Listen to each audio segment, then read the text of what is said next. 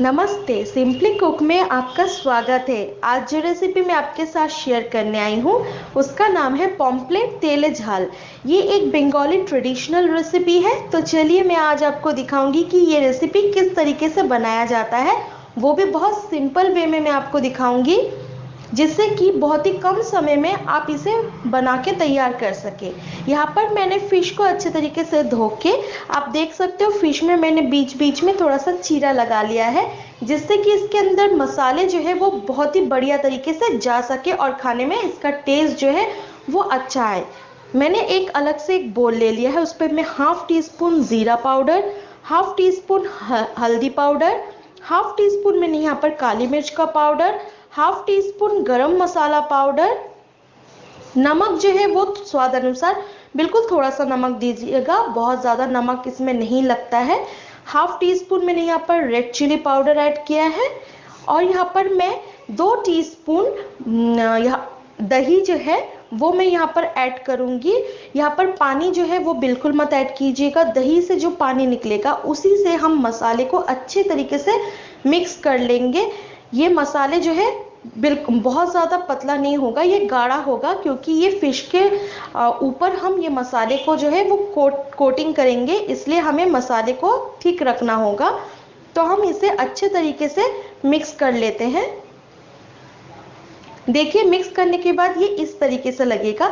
अब हम हाथों के सहारे अच्छे तरीके से फ़िश में ये मसाले जो है अच्छे तरीके से मैरिनेट कर लेंगे। मैरिनेट करने के बाद इसे हाफ़ एन आवर के लिए हम रेस्ट करने के लिए छोड़ देंगे, जिससे कि ये मसालों का जो टेस्ट है, ये फ़िश के अंदर अच्छे तरीके से जा सके। हम इसे अच्छे तरीके से जहाँ पर हमने चीरा लगाया था, उसके अंदर भी आपको हाथ के सहारे मसाले को उसके अंदर डालना होगा। अच्छे तरीके से मसाले लगाने के बाद हम आधे घंटे के लिए इसे रेस्ट करने के लिए छोड़ेंगे। उसके बाद हम फ्राई करेंगे। देखिए, यहाँ पर मसाले जो है लगाने कंप्लीट हो चुका है हाफ़ एन आवर भी कंप्लीट हो चुका है।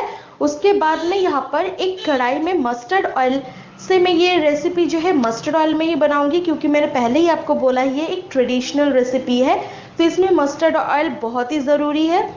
अब मैं इस फ़िश को जो हमने मेरिनेट करके हाफ़ एन आवर के लिए रखा हुआ था उसको मैं अब फ़िश उस फ़िश को मैं फ्राई कर लूँगी। मीडियम फ्लेम में आपको फ़िश को फ्राई करना है। देखिए यहाँ पर फ़िश को दोनों तरफ़ से ही इसी तरीके से फ्राई करके अब अलग हम निकाल लेंगे।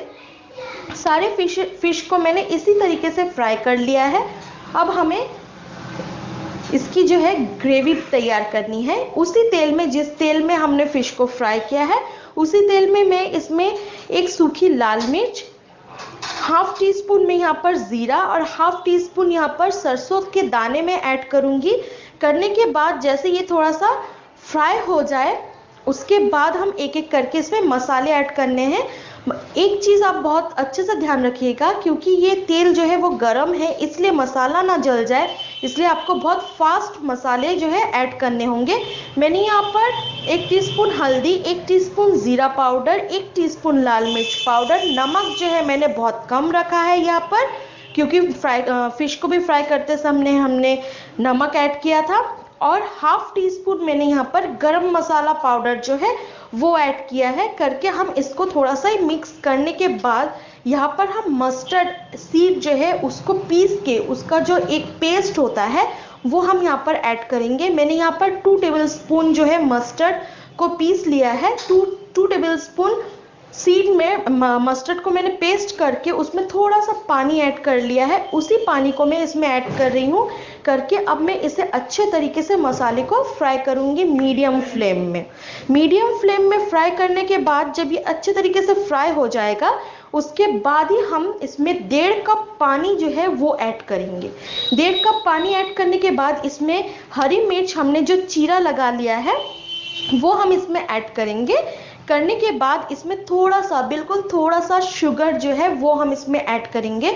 शुगर से जो है वो टेक्सचर बहुत बढ़िया सा आता है और टेस्ट में भी थोड़ा डिफरेंट होता है। इसलिए हम थोड़े से, बस हाफ़ टी स्पून से भी कम हम इसमें शुगर ऐड करेंगे। करने के बाद इसमें हम थोड़ा सा ढक्कन लगा देंगे। लगा के जस्ट एक बॉयल एक बॉयल जब तक आ जाए, उस तब तक हमें इसे ढक के पकाना है। एक बॉयल जैसे ही आ जाएगा, हम उसमें फ़िश जो है वो ऐड कर देंगे।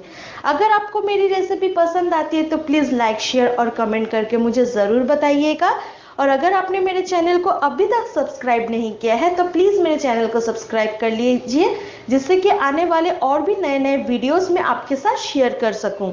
यहाँ पर मैंने फ़िश को जो है ऐड कर लिया है। अब मैं ढक दूँगी। इसे करीबन छः से सात मिनट के लिए हमें लो फ्लेम में पकाना है। छः से सात मिनट बाद जो देखिए यहाँ पर फ़िश जो है बिल्कुल रेडी हो चुकी है खाने के लिए। गरम गरम चावल के साथ ये बहुत ही अच्छी लगती है खाने में। बिल्कुल एक बार ट्राई ज़रूर कीजिएगा इस रेसिपी को। आज के लिए बस यही तक। नेक्स्ट वीडियो लेके मैं बहुत जल्द फिर आपसे मिलूँगी। तब तक के लिए नमस्ते।